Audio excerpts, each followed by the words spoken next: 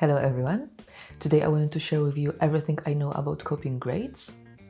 You will learn five different ways of copying grades from one clip to another, and then two different ways of copying grades from one timeline to another.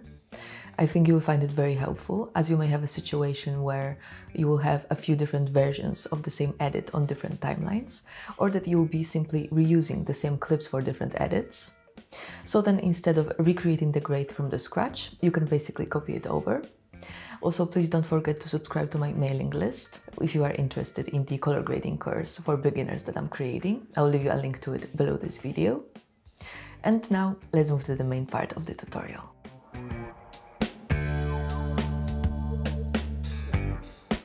And we are in the color tab. I've imported here a few clips they are already prepared. So these two clips are graded and these three are ungraded. And I will start from showing you a few different ways of copying grades from one clip to another. So the first way of doing this is to highlight the clip we want to copy the grade to. Then we right click on the clip we want to copy the grade from. And we hit apply grade. And the grade has been copied over immediately exactly the same node structure with all the same information, as you can see. Then I will reset it to show you another way of copying grades by using stills. So we need to highlight the node we want to copy our grade from. Then let's right click on the clip in the inspector and let's pick grab still. And then our still will appear in the gallery over here. And it's a still that contains all of the grading information. And then we just have to go back to and highlight the node we want to copy this grade to. And then when we hover the cursor over the still, we can actually preview the grade on our ungraded clip. Have a look. And then if we want to copy this grade over, we just have to right click on the still and hit apply grade. Done. Alright, and let's reset this grade again. As I've said, there's a few different ways of copying grades. So another way is to highlight the clip we want to copy the grade from. Then we have to go here to color, then memories, and then save memory A. And now we gotta highlight the ungraded clip. And then we have to go to color, memories, and load memory A. And now let me move to the next sequence of the clips here. And the next way of copying grades is to simply highlight the graded clip, then hitting Command C on Mac and Control C on Windows, and then highlighting the ungraded clip and hitting Command V or Control V on the keyboard. Done. And now I will show you one last way of copying grades that actually not many people know of. So this clip is ungraded, and if we want to copy onto it the grade from the previous clip on the timeline, we can simply hit Shift plus on the keyboard, like this, or if we want to copy onto it the grade from the clip that's located before the previous one on the timeline, we have to hit Shift minus on the keyboard. So now let's move on to copying grades from one timeline to another. Let's go back to the Edit tab then. And here in the media pool, I have two more timelines, the graded one and the ungraded one. So let's open the graded one. And here I have a short sequence of the clips.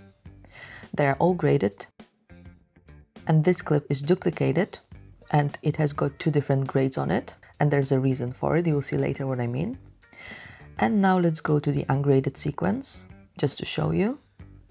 Here we've got the same clips, they're all ungraded and the only difference is that this clip here is not duplicated and then at the end we have an additional clip that is not in the graded sequence. And now in order to copy a grade from one sequence to another, we have to right click on this sequence we want to copy the grade to in the media pool. In my case, it's this ungraded sequence. Then we have to go to timelines, then color trace, then color trace from timeline, and this window will pop up. And here I will open my local database, and this will look differently for each of you, as I have here all of my projects listed. And also, as you can see, you can copy grades not only from one timeline to another within the same project, but also you can copy grades from one timeline to another from different projects. So let me navigate to the right project, which is copying grades. And here I've got my graded sequence, which is basically this sequence from the media pool. So I'll click on it and I will hit continue. Then another window will pop up and here I've got my ungraded timeline displayed. Our clips are shown here as thumbnails and we can use a manual or an automatic color trace. So let's pick the manual and here we can basically manually match clip by clip the clips we want to copy the grade from with the clips we want to paste the grade on. So let's select the first clip from the graded timeline and the first clip from the ungraded timeline and let's hit paste. And also to speed up this process in the manual mode, we can match the whole sequences. So let me do it with these three clips. So again, I will select the clips from the graded timeline and then from the ungraded timeline and I will hit paste again.